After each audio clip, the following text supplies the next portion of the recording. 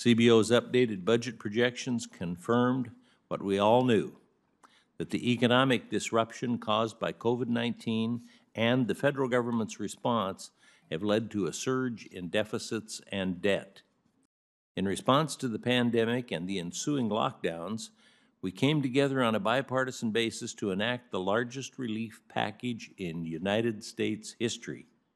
We worked to alleviate the financial devastation, and it helped, but at great cost.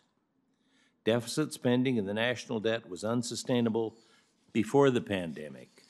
We must address it before it becomes the next historic crisis or prohibits future policymakers from dealing with future emergencies. COVID-19 and the government response to it are not the root of the cause of our long-term budget problem. Nevertheless, that does not mean we should continue to spend with impunity.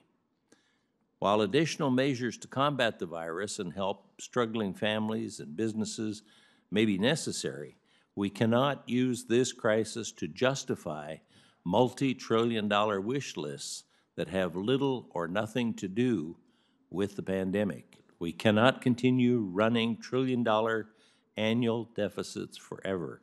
The longer we wait, the more severe the challenges, and challenges will be, and the fewer options we have. Uh, Right now, the interest on the federal debt are at historic lows, even negative on an inflation-adjusted basis. I've read some claim that means that debt and deficits don't matter. Is that true?